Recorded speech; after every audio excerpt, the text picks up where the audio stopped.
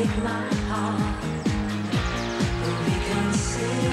I opened the door.